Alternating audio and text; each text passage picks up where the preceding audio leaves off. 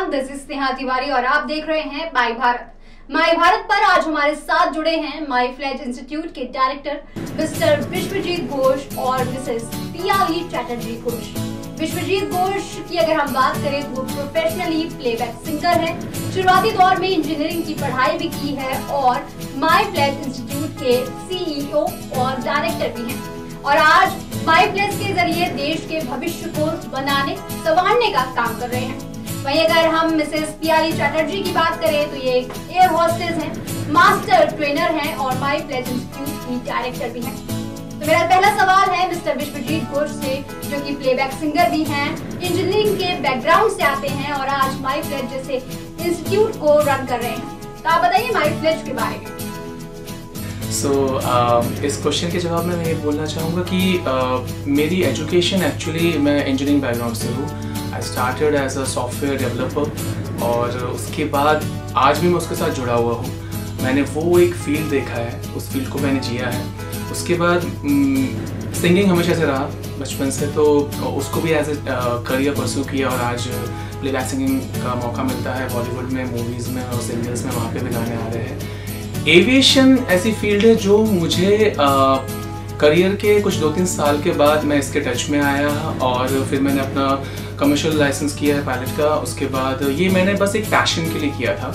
But इस दौरान इतने सारे लोग मुझसे जुड़ते चले गए जो एविएशन फ़ील्ड से है इतने सारे लोग मुझसे जुड़ते गए और उनके साथ एक टीम बन गई और मुझे भी पर्सनली रियलाइज़ हुआ कि आ, कितनी ज़रूरत है आज के यूथ को सही गाइडेंस मिलने के लिए सही काइंड ऑफ़ अवेयरनेस उनको मिले उनको नॉलेज मिले उनको सही राह दिखाने वाले को मिलना चाहिए। जैसे अगर मैं इतने सारे फ़ील्ड में कुछ कर पाया वो इसलिए क्योंकि मुझे शायद मैं लकी रहा मुझे अच्छे लोग मिले जिन्होंने वहाँ पे मुझे गाइड किया और मुझे सही टाइम पे सही सपोर्ट लोगों ने किया लोगों ने दिया सपोर्ट और ये कारवा आगे बढ़ता चला गया। सो so, अब मुझे लगता है आज मैं इस मुकाम पे हूँ कि मैंने चीज़ों को इतने डिटेल में देखा है और चीज़ों से जुड़ा हुआ हूँ, उनके एक्सपर्ट्स के साथ जुड़ा हुआ हूँ, खुद एक मुकाम पे हूँ तो मैं अब बच्चों को जो हमारे देश का यूथ है, उन्हें गाइड करना चाहता हूँ, उन्हें अवेयर करना चाहता हूँ और उन्हें सही करियर ऑप्शंस के बारे में पता चले और फिर वो अपना डिसीज़न ले सके उन करियर ऑप्शंस के लिए। ये मेरी कोशिश है अभी। तो अगले 10-20 साल मुझे यही फोकस है कि मैं जैसे म्यूज़िक में भी और इंजीनियरिंग में भी और एविएशन में भी मैं जितना ज़्यादा लोगों के साथ जुड़ सकूँ और उनको इसके बारे में बता सकूँ, ताकि वो एक सही डिसीज़न ले सकें और अपना करियर फ्लरिश कर सके। क्योंकि हम जब 18-20 साल के होते हैं ट्वेल्थ से ट्वेल्थ करते हैं या ट्वेल्थ पास होते हैं या प्लस टू जो बोलते हैं हम लोग पीयूसी है कुछ स्टेट्स में तो तब ना हमें बहुत सारे ऑप्शंस दिखते हैं। लेकिन कैसा ऑप्शन सही हमारे लिए, जहाँ पे हम फिट हो सके और जिस ऑप्शन की डिमांड है मार्केट में, और उसके लिए कैसा स्किल सेट चाहिए उस स्किल सेट को अचीव करने के लिए कैसी गाइडेंस चाहिए, कैसी ट्रेनिंग चाहिए और किस तरह से हम इंस्टीट्यूट चूज़ करें उस चीज़ के लिए सही, ये बहुत मैटर करता है। आपका पूरा सामने के 20 साल 10 साल का जो करियर है, वो इस डिसीज़न पे मैटर करता है डिपेंड करता है कि आपने क्या, कौन सा इंस्टीट्यूशन चूज़ किया। For engineering it can be BITS I am from BITS Pilani I I T it can be anything for music आप कहाँ से सीख रहे हैं, किस गुरुकुल में सीख रहे हैं? फॉर एविएशन कौन से इंस्टीट्यूट इतने सारे इंस्टीट्यूट है, इतने सारे, सबके अपने अपने इंटेंशन से सबके अपने अपने विजन है, सबके अपनी अपनी सोच है। आपके साथ क्या मैच करता है और कौन कितना जेन्यून है? कौन कितना सही है? कौन सही मायने में आपको असली चीज़ बता रहा है और लेटेस्ट चीज़ बता रहा है। आज का जो ट्रेंड है it's a Google trend it's online social media trend तो आज के ज़माने में इंफॉर्मेशन आपके पास फिंगर टिप्स में है। गूगल में इंफॉर्मेशन है यूट्यूब में आप ब्लॉग्स देख सकते हैं, किसी भी फ़ील्ड के लिए। लोग आपके साथ ट्रेनिंग वीडियोस भी ऑनलाइन शेयर करते हैं। बट आपको चूज़ करना है कि आपका टीचर कौन रहेगा। आपको सही से डेली आपके साथ प्रैक्टिस कौन करेगा? और आपको वो एनवायरनमेंट कहाँ मिल रहा है? तभी आप अपना करियर शेपअप कर सकते हैं। तो जब मुझे ये बात आ, समझ में आया एक रियलाइजेशन होता है सबको उसके बाद मैंने ये एक मुहिम चलाया कि मुझे लोगों को साथ में जोड़ के इंस्टीट्यूशंस सेट करने हैं डिफरेंट डिफरेंट वोकेशनल स्टडीज़ में। तो हमने 2015 में Flage institute of aviation and hospitality की नींव रखी थी और ये बैंगलोर में हमने स्टार्ट किया था हेड ऑफ़िस और उसके बाद एविएशन से जुड़े जितने भी हमारे कोर्सेस है, जैसे कैबिन क्रू आज भी लोग को लगता है कि कैबिन क्रू ही है। तो कैबिन क्रू है, उसके बाद ग्राउंड स्टाफ है, फिर एविएशन रिटेल है और ए टू जेड जितने डिपार्टमेंट्स उन सबके लिए डिफरेंट डिफरेंट कोर्सेज क्रिएट किए फिर हमें समझ में आया कि लोगों को पायलट बनने में भी उनको अवेयरनेस नहीं है। उनके लिए डिटेलिंग नहीं है तो हमने उसके भी कोर्सेज ऐड किए सिमिलरली सर्विस इंडस्ट्री में बहुत कुछ इस तरह से, जिसका बैकबोन कस्टमर सर्विस है। तो ऐसे ही हमें समझ में आया कि इवेंट मैनेजमेंट में इसकी ज़रूरत है होटल मैनेजमेंट की इसकी ज़रूरत है। इस तरह से एक ग्रुप ऑफ़ इंस्टीट्यूशन बन गया है। दिस इज़ पियाली चैटर्जी घोष आज यूथ के पास कई सारे ऑप्शन हैं और कई सारे ऑप्शन होने की वजह से कई सारी कंफ्यूजन भी हैं। तो बच्चों को किस तरीके से सोचना चाहिए अपने करियर को लेकर? यही बताना था सबको कि ये जो स्किल इंडिया, कौशल भारत, कुशल भारत का जो मिशन है, इसी मिशन पे हमारा my Flage institute of aviation and hospitality कार्यरत रहा है 2015 से और उसके बाद से अभी तक छः, साढ़े छः साल ऑलरेडी हो चुके हैं।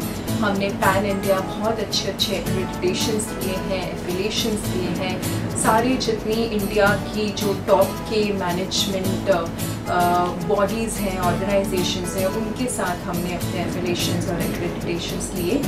जिसने हमें बहुत हेल्प किया, हमारे स्टूडेंट्स को हेल्प किया to acquire a very good career in aviation sector, in hospitality sector, in the entire service sector. देखिए हम भी पहले एयरलाइंस में ही थे और होटल्स में और एविएशन के ही हम काम करते थे वहाँ पे जब हमने आठ दस साल काम किया एज अ कैबिन क्रू तब हमें उसके बाद फिर हमने as a trainer as a H भी दूसरी कंपनीज़ में काम किया तो हम भी हायरिंग करते थे इन बड़ी कंपनीज़ के लिए इन इंडस्ट्रीज़ के लिए। फिर हमें समझ में आया कि इंडिया में बहुत ज़रूरी है कॉरपोरेट ट्रेनिंग बढ़ाना। क्योंकि हम जो हायरिंग करते थे और जो हमें चाहिए इंडस्ट्री को चलाने के लिए कंपनीज़ को चलाने के लिए जैसे कि हमें बहुत ज़्यादा डिसिप्लिन लोग चाहिए प्रॉफिटेबिलिटी उनको समझ में आनी चाहिए कॉस्ट इफ़ेक्टिवनेस होनी चाहिए। इन सब चीज़ों की जो स्टडीज़ हैं हमारे स्कूल्स कॉलेजेस में कहीं ना कहीं मिसिंग थी। तो there I found out a void और उस वॉइड को उस गैप को हमें फिल करना था। तो जब मैंने वहाँ से it was a moment of awakening for me for entire panel कि अब यहाँ से हम काम नहीं करेंगे अब हम दूसरी तरफ़ से काम करेंगे। सो ग्रास रूट लेवल पे काम करने का एक बहुत बड़ा प्लेटफॉर्म uh, uh, है कि हम एजुकेशन पे काम करें। उससे पूरी की पूरी जनरेशन के हार्ट में, के दिल में, उनके माइंड में आप एक इम्पैक्ट बना सकते हैं। क्योंकि इस टाइम पे आप देखेंगे बहुत सारी फॉरेन की कंपनीज़ भी इंडिया की तरफ़ रुख कर रही हैं। India is a very big market यहाँ पे बड़े ऑर्गेनाइजेशन को इस्टेब्लिश किया जा रहा है। सिर्फ़ एविएशन में नहीं, आप देखिए हर सेक्टर में, हर सेक्टर में कस्टमर सर्विस की अच्छी ज़रूरत है। सो so, ये सब आके इंफ्रास्ट्रक्चर बना देंगे इंडिया में बट ये सारे के सारे इंफ्रास्ट्रक्चर खंडर जैसे हो सकते हैं अगर हमारे खुद के लोग पढ़े लिखे स्किल्ड और प्रॉफिटेबिलिटी जनरेट करने वाले ना हो। तो हमें वो गलत इंडिया नहीं बनाना है। Today we have a choice of choosing the right India और हमें एजुकेशन से और स्किल डेवलपमेंट से इंडिया को प्रॉफिटेबिलिटी की तरफ़ लेकर जाना है और एक उभरते नेशन एक डेवलप नेशन की तरफ़ लेकर जाना है। तो my Flage institute of aviation and hospitality इसमें आप कौन कौन से कोर्स बच्चों को ऑफ़र करते हैं? जी सो कोर्स uh, की अगर हम बात करें सबसे हमारा जो सक्सेसफुल uh, प्रचलित कोर्स है वो एक साल का advance diploma in aviation management and hospitality है। सो so, um, uh, क्योंकि हम लोग एयरलाइंस के लोग हैं तो बहुत सारे बच्चे हमसे इंस्पायर होकर आते हैं और वो एयरलाइंस में जाना चाहते हैं और अपना करियर बनाना चाहते हैं। सो कैबिन क्रू जिसको हम एयर हॉस्टेस बोलते हैं तो वो तो एक डिपार्टमेंट है जिसकी बहुत अच्छी ट्रेनिंग हमारे करिकुलम में इनवाइट है। ऐसे डिपार्टमेंट्स होते हैं जहाँ पे फ्रेशर्स की रिक्रूटमेंट होती है जिनके बारे में आ, हमारी सोसाइटी में लोगों को बहुत कम पता है। तो वो सारे डिपार्टमेंट्स की पूरी की पूरी जानकारी डिपार्टमेंटल नॉलेज ये सब कुछ हमें एज ए अवेयरनेस इन बच्चों को देना चाहिए, ताकि एक डिपार्टमेंट के भरोसे हम पूरी ज़िंदगी में बैठे रहें। पूरा, पूरी दुनिया बहुत ही ऐसी हो गई है कि हम कुछ प्रिडिक्ट नहीं कर सकते कि कल क्या होगा, कल क्या नहीं होगा।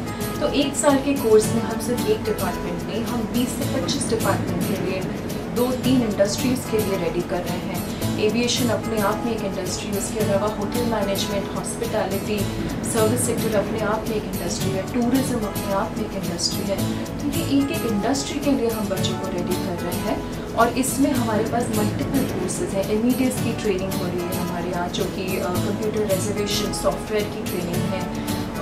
इसके अलावा भी हम बच्चों को पूरी ज़िंदगी के लिए grooming international grooming corporate grooming soft skill जो कि आप आईएएम जैसे इंस्टीट्यूशन में जाके मतलब एमबीए के कॉलेजेस में जो टॉपिक्स हैं, वो टॉपिक्स हमने अपने डिप्लोमा कोर्सेज में बनाया है इनवाइट किया है, ताकि पाँच छः साल पढ़ के और फिर निकल के और फिर हम वही पोजीशन पे रहें कि जॉब कहाँ मिलेगी और जॉब कहाँ ढूंढे।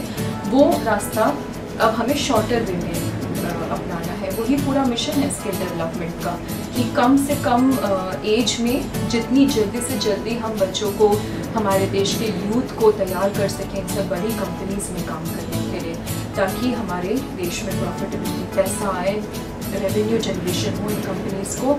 इंटर्न्स ये रेवेन्यू हम सबको एज ए सैलरी मिलने वाली है, हमारे बच्चों को एज ए सैलरी मिलेगी। हम सब की सैलरी बढ़ेगी पर कैपिटा इनकम बढ़ेगा देश का, और देश उन्नति की तरफ़ जाएगा। बहुत बहुत शुक्रिया मिसेस पियाली चैटर्जी घोष और मिस्टर विश्वजीत घोष, जिनसे हमने एविएशन और करियर को लेकर तमाम जानकारियाँ हमें मिली हैं। बहुत बहुत धन्यवाद आप दोनों का।